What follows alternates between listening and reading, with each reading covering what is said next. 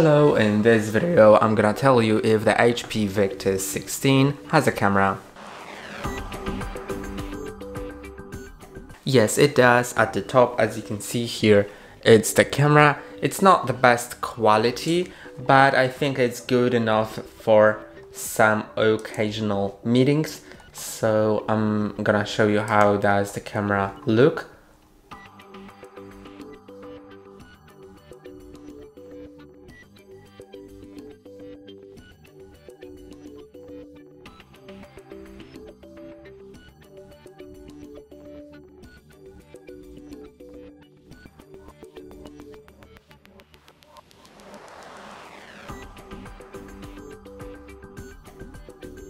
And this is the camera quality, so I think it looks great. That's all for today. Don't forget to like and subscribe. See you next time.